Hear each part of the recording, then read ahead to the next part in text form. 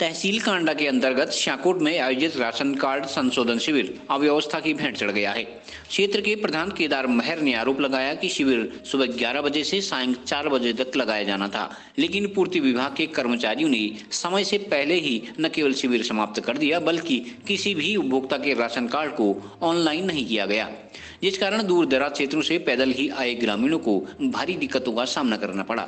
क्षेत्र के प्रधानों ने आरोप लगाया कि पूर्ति विभाग द्वारा भेजे गए कर्मचारियों ने शिविर लगाकर लापरवाही बढ़ती है। लिहाजा ऐसे लापरवाह कर्मचारियों के विरुद्ध कार्रवाई की जानी चाहिए। प्रधानों ने इस आशय का एक ज्ञापन भी जिलाधिकारी को भेजा है। आ, नमस्कार आप सभी को। मैं केदार महर ग्राम प्रधान ग्राम पंचायत बास्ती और विकासखंड कपकोट जनपद बागेश्वर से हूँ। और अभी ये देख सकते हैं अभी हम लोग हैं यहाँ पे राजकीय इंटर कॉलेज श्याकुट में, जो कि हमारे तहसील कांडा जनपद बागेश्वर के अंतर्गत आता है, और यहाँ पे आज एक राशन कार्ड का शिविर लगाया गया था, जो कि हमारे जितने भी क्षेत्रवासी हैं इस सिमगढ़ी न्याय पंचायत के पंद्रह ग्राम पंचायत हैं इसके अलावा होराली न्याय पंचायत के कुछ ग्राम पंचायतें इस क्षेत्र के अंतर्गत आसपास में आती हैं तो यहाँ पे एक राशन कार्ड का शिविर लगाया गया था, जिसमें संबंधित विभाग के कुछ कर्मचारी यहाँ पर आए हुए थे, और जो उनका यहाँ पे आने का समय था और जाने का समय था, वो था ग्यारह बजे यहाँ पे उपस्थित होना था, और चार बजे उनको यहाँ से वापस जाना था। लेकिन अभी समय कितना हुआ है सर? समय कितना हुआ है अभी? कितने बजे अभी कितने बजे? आप टाइम बताओ ना आप। आप टाइम बताओ पहले। दो सैतालीस। देखिए अभी दो बजकर सैतालीस मिनट हुए हैं और यहाँ पे ये पब्लिक आप देख सकते हैं। सारी की सारी पब्लिक यहाँ पर अभी उपस्थित है। और साथ में हमारे क्षेत्र के जितने भी ग्राम प्रधान हैं, जितने भी ग्राम पंचायत विकास अधिकारी हैं, सारे के सारे यहाँ पर उपस्थित हैं। और हम लोग यहाँ पे 10 बजे आ गए थे, अभी शाम के लगभग दोपहर के ढाई बजे हैं। और कर्मचारी यहाँ से जो है अपने समय सीमा से पहले वापस जा चुके हैं। मैंने तत्काल यहाँ से अपने फ़ोन के माध्यम से जिला पूर्ति अधिकारी महोदय को जब पता किया कि उनका समय क्या है तो उन्होंने मुझे बताया कि ग्यारह बजे उनको आना था और शाम के चार बजे तक उनको शिविर में रहना था। तो ये आप देख सकते हैं। मैं अपने जनपद के समस्त अधिकारियों को जो इस वीडियो को देख रहे हैं, जितने भी जनप्रतिनिधि हैं हमारे क्षेत्र के, मैं सभी को अवगत कराना चाहता हूँ।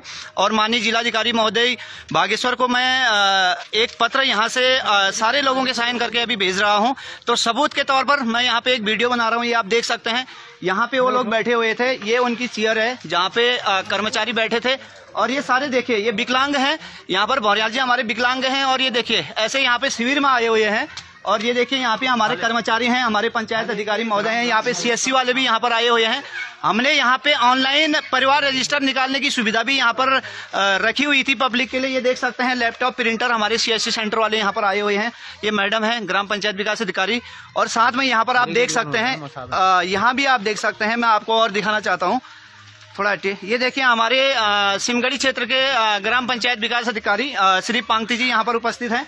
और पूरी पब्लिक यहाँ पर देखिए सिमगढ़ी के ग्राम प्रधान जी यहाँ पर है। प्रधान जी आप बताइए सर कितने बजे वो लोग यहाँ से गए? मैं तो थोड़ा खाने के लिए गया था। शायद आधा घंटा पहले बता रहे हैं लोग तो अभी टाइम बता दीजिए आप अभी। टाइम दो बजकर ढाई बजे को रोकने के लिए। तो ढाई बजे वो लोग यहाँ से चले चले गए हैं। पूर्व ग्राम प्रधान जी हमारे यहाँ पर उपस्थित हैं। हमारे क्षेत्र के जो है सज्जन व्यक्ति हैं गुमान सिंह जी यहाँ पर हैं। ये देख सकते हैं सारे यहाँ पे लोग आए हुए हैं महिलाएँ हैं पुरुष हैं। तो मैं अपने जनपद बागेश्वर के माननीय जिलाधिकारी महोदय को आ, कहना चाहूँगा अपील करना चाहूँगा और एक पत्र के माध्यम से भी मैंने आपको जो है अवगत कराया है। इन कर्मचारियों के ऊपर सख्त से सख्त कार्रवाई होनी चाहिए और जो हमारी जनता को इस प्रकार से गुमराह किया जा रहा है हमारे क्षेत्रीय लोगों को इस प्रकार से ठगा जा रहा है तो ऐसे अधिकारियों के ऊपर ऐसे कर्मचारियों के ऊपर सख्त से सख्त कार्रवाई होनी चाहिए और आगे को ऐसा ना हो किसी पब्लिक को परेशान करने की ऐसी नौबत नहीं आनी चाहिए। मैं ग्राम प्रधान ग्राम पंचायत बास्ती से हूँ और अभी मैं शिविर में हूँ। इसीलिए मैं ये वीडियो बना रहा हूँ क्योंकि कल के दिन हमें सबूत के तौर पर ये वीडियो चाहिए क्योंकि हम अभी लिखित में जिलाधिकारी महोदय को यहाँ की जो आज यहाँ पे हुआ है तो उसकी शिकायत हम लोग यहाँ से लिखित में दे रहे हैं। ये देख सकते हैं आप, कम से कम पचास से ज़्यादा लोग यहाँ पर हैं, अभी आधे लोग जा चुके हैं। तो ये हाल है हमारी जनपद के अधिकारियों के। तो इस क्षेत्र के माननीय जनप्रतिनिधि हमारे जो बलवंत सिंह बोरियाल जी हैं, विधायक जी, मैं आप आपसे आप भी इस वीडियो के माध्यम से अपील करना चाहूँगा।